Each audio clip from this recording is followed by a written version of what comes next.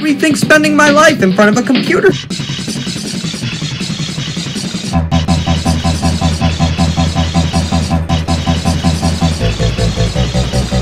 Maybe I should rethink spending my life in front of a computer screen.